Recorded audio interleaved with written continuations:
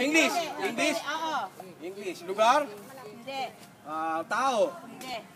Ah, pangyayari. Hindi. Weather.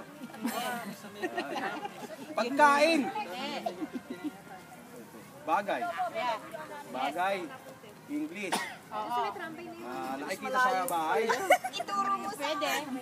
Sa labas ng bahay. Ah, aparador. Hindi. Sa kwarto. Bawal magturo. Sa kitchen. Hindi. Sa kotse. Para patas. Para patas nga. Basta oo, pwede lang. Oo, pwede. Oo, pwede. Hindi. Bagay. Sa hindi.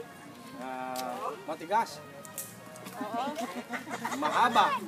Hindi. Ma- maliit. Pwede. Nilalaro. Laruan. Laruan. Pwede. Olin. Hindi.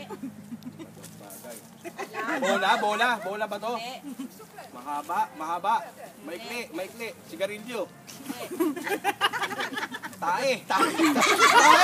Tae. Tae. Sa katawan ba? Sa katawan? Hindi, no? Bagay, eh, no? Bagay. Sinusuot ba? Sinusuot? Pwede. Pwede. Ah, shorts, damit, relo, singsing, hikaw.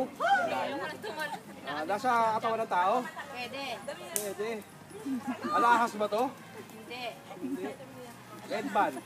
Hindi. Edgar ang kulit. Belt. Hindi. Medyas. Hindi. Wala pa bang oras? Gumagano.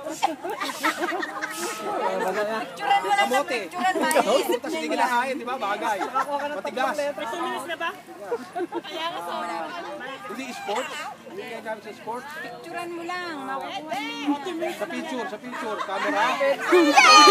Tagal ah.